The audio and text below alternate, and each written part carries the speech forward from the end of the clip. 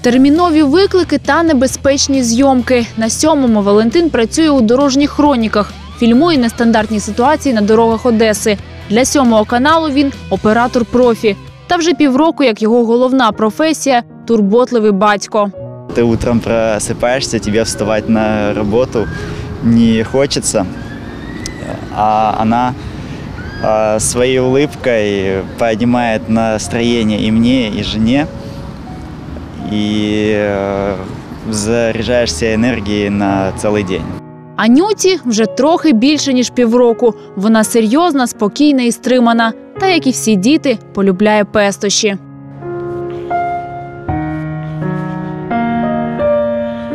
Могу сказать определенно, что жизнь э, поделилась на время до и после.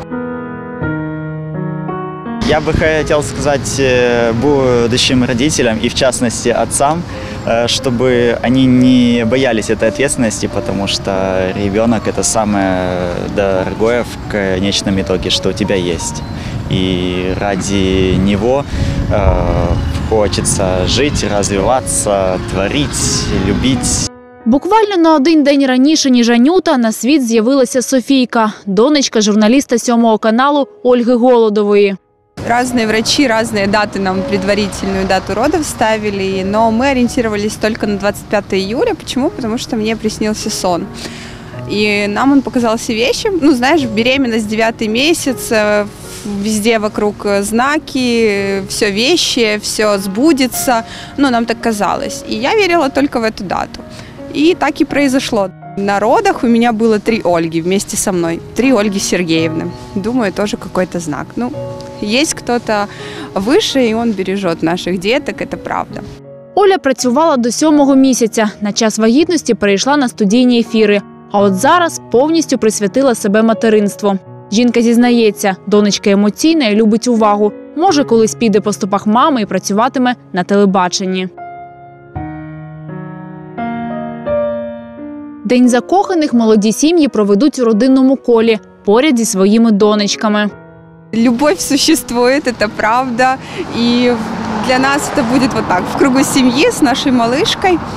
Я очень хочу пожелать э, всем тем семьям и парам, которые хотят стать родителями, но по какой-то причине не могут стать родителями, чтобы они справились с этими проблемами, чтобы в этом году или в следующем мечта стать мамой и папой обязательно осуществилась. Всем деткам, конечно же, здоровье. Пускай все дети будут здоровы, пускай все дети, детки будут в семьях. Никто не знает, что такое нет мамы или папы. Пускай все знают, что такое ласка, забота, любовь и внимание.